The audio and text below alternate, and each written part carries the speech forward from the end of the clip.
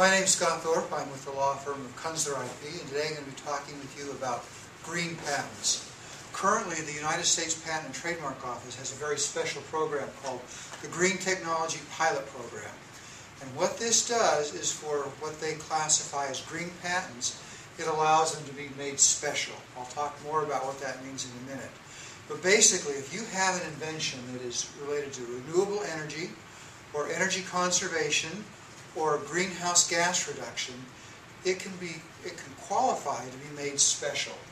And what that means is that basically you go to the front of the line. At the patent office they have an enormous queue of patents waiting to be examined. If yours is made special, it will be examined within 49 days of filing right now. That's the average. So if you have an invention that's related to green technology, it's a wonderful opportunity to get that patent examined and issued sooner because that is so valuable. So I urge you that if you have something that is related to green technology to take advantage of this program. Okay?